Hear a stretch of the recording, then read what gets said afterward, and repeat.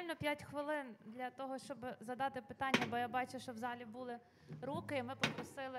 Е, Просимо пробачення попередньої дискусії. Ми вас вкрадемо 7 хвилин, але мені здається, що важливо все-таки проговорити е, те, що ми не встигли почути під час презентації від наших учасників. Якщо є питання в залі, е, в когось я бачила в когось руку, то ми можемо передати мікрофон зараз. Настя.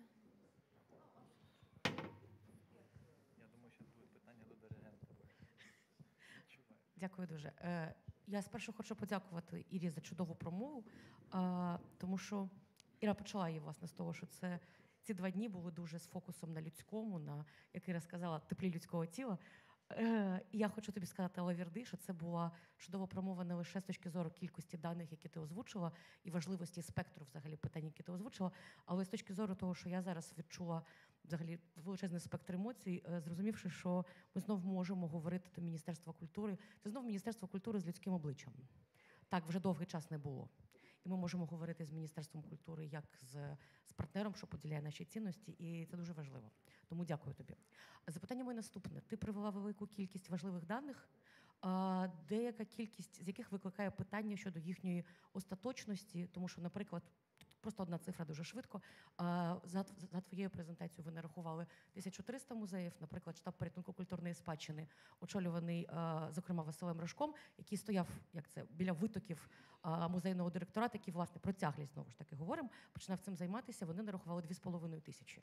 Я свідомо того, що ми говоримо про Крим і про Донбас заразом, але розрив майже вдвічі він наштовхує нас на питання про остаточність таких даних. Тому, якби ти дуже побіжно могла сказати про методології, за якими ви збирали дані, які з них є остаточні, які ні, як нам взагалі в цьому орієнтуватися, щоб цими даними послуговуватися і якось аби розбудова і перебудова культури, е, яка вже триває, бо ми вже в цьому майбутньому, як ми говорили, була more evidence-based, то я була б дуже вдячна. Дякую дуже. Е, коротко тезово. Е, ті цифри, це підготовлений, вже майже підготовлений реєстр власне мережі культурних закладів. Ви знаєте, що багато років ми говоримо про реєстр культурної спадщини. Про нього продовжують говорити, але ми сподіваємося, що цей реєстр теж з'явиться, і відповідно з'являться інші цифри. Цифри фонду і колекції вони не розголошуються, але вони є. І насправді кількість врятованого і неврятованого, звісно, більше врятували. Але знову ж таки про це ми сьогодні не говоримо, тому що да, є, є проблема закритої інформації. Відповідно, ці цифри приблизні. Я дякую Настю, що ти наголосила на цьому. Ці цифри приблизні. Тому що власне е, не просто культуру важко рахувати в Україні важко рахувати. Ви знаєте, що ем, Держстат сьогодні припинив збір е, статистичної інформації е, до закінчення бойових дій. І ми опинилися в ситуації, коли ми взагалі дезорієнтовані з точки зору власне. Цифр статистики. Єдине, що в нас залишається, це ем, податки, тобто ем, Державна податкова служба е, надає ці дані. Е, ми можемо бачити, наприклад, зниження. Податків, виплачених культурними креативними індустріями за кведами на 60% в першому кварталі, і можемо на цих даних там теж будувати якісь е, прогнози. А щодо кількості інституцій, да, ці цифри мають бути верифіковані. Дякую. Чи є в нас так, є ще від мене. Так, у мене теж питання до пані Ірини. Насправді я теж вдячна за теплу промову, бо це вперше, коли я стикаюся з міністерством е, в такому обличчі. Е, Але ну, ви згадали все ж Венеційську бієнале, це проект Dear to Me, тому я не можу не поставити це питання. А, Власне, на 23 лютого, коли проект вже був на фінальній стадії реалізації і на нього було витрачено на той час вже більше 90 тисяч євро. Від Міністерства культури команді Бієнале не надійшло жодної гривні. А, ну і що і, і, і, і при цьому команда Бієнале була до цього ну була доволі поінформованою про це доволі заздалегідь, тобто і готувалася для того, щоб а, врешті реалізувати цей проект.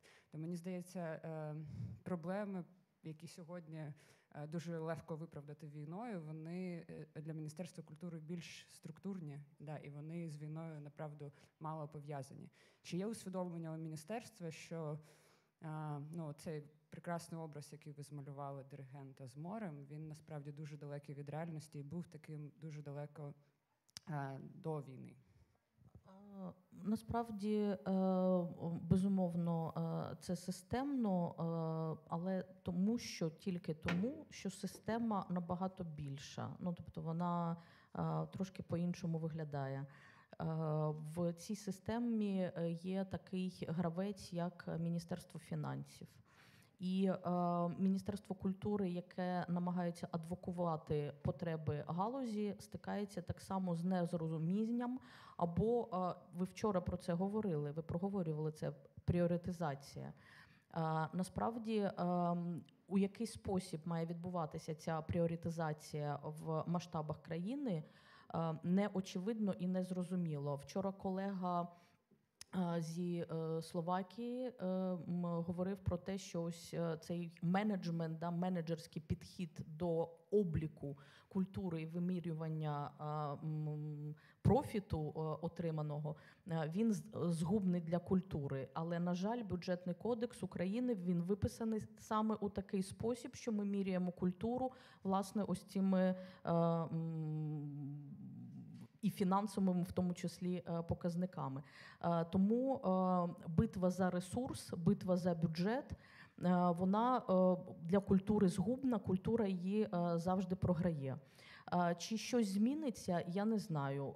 Я вам можу відповісти так: про культуру дуже важко говорити, тому що вона дуже велика. Да, її важко побачити, тому що вона скрізь. Коли ми намагаємося опредмечувати, говорити про світ ідей або е, матеріальний світ е, і так далі, це все одно є частина культури. Да? Ми не бачимо все одно зв'язків. І, на жаль, е, не завжди це можна пояснити тим, хто приймає інші управлінські рішення, в тому числі фінансові. Е, м, Тут є величезна да, проблема, і власне держава створює загрозу е, для проєктів, які для неї передусім е, є важливими. Е, І короткий коментар щодо людського обличчя. Я просто три місяці тільки, тому в мене є всі шанси асимілюватися. ем, Дякую, дякую. В нас насправді є ще дві хвилини. А, і Настя, а можна я, Так, я, власне, хотіла додам? дати слово. Е, е, Насправді я почну з питання до Маші. Якщо це е, не море і не диригент, то яка це метафора? А я, а я поки, ти будеш думати, я зараз е, лише додам. Е, просто для мене є тригером те, що вчора обговорювалося, і позавчора про те, що взагалі те, що Україна виживає і розвивається, да, це є такий мікс горизонтальних зв'язків, коли дуже багато агентів взяли на себе відповідальність. Але коли е, ну от це часто було е, звучало там, коли особливо державні інституції вчора виступали, що завжди є таке нарікання на якби старшого, е, який робить щось не те, да, який не розуміє і, і так далі. І тому тут насправді я думаю, це відкрите взагалі питання, як оцей бізнес as usual, який був, умовно кажучи, до війни, і він не відповідав да, тим запитам, які, е, які є в культурній сфері. е, Як його зараз якби змінити? Оскільки, якщо це не змінити зараз, е, то я уявляю, що це буде набагато складніше е, змінити пізніше. Да? І тут знову ж таки ем, повертаємось е, до метафори ЗСУ, да, як такої рольової моделі. Е, У мене насправді є е, знайомі, ну багато дов- доволі знайомих зараз в армії, і вони кажуть, що звичайно армія це також неоднорідна структура. Там є дуже багато якби таких реліктів, які не дуже працюють. Але є оця відмашка зверху, да, умовно кажучи, яка йде від генштабу, яка дозволяє бути в них є момент це цінність життя конкретного солдата. І те, що е, команди якби внизу беруть на себе відповідальність. Якщо є відповідальність тримати село, ну мов- мовно кажучи, вони не вбивають там всіх солдат. Вони можуть відійти і потім в нього зайти через три дні. І це не має вирішувати залужний. Да? І мені здається, просто оцей момент е, е, який працює в армії зараз, да, і армія просто зараз це такий суперфокус. Як нам його е, перелаштувати да, до тієї сфери, де ми є ну, експертами? Для мене це відкрите питання, але мені здається, що якщо не зараз, то коли? Е, На цьому я завершую. А Маша, якщо в тебе є метафора, то скажи чорна діра. Е, Ну, в принципі, від, е, ем, від е, диригента до інтерстеллера, да, такий можна. Це, це напевно, назва наступної, наступної конференції. Дуже дякую, Ірино. Ілля, на жаль, у нас більше немає часу на питання. Станіславе, я думаю, що можна буде зловити наших учасників під час кави перерви і поговорити. Я дуже дякую вам. Мені дуже сподобалася думка Іллі про те, що на якомусь моменті ви відчули, що треба переходити від таких спорадичних підтримок до стратегічних більше.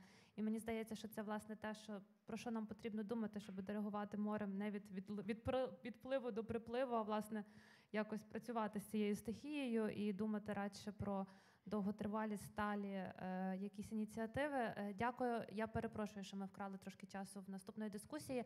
Я пропоную без перерви на каву е, одразу запрошувати Лесю і наших учасників. А каву ми поп'ємо потім. Дякую.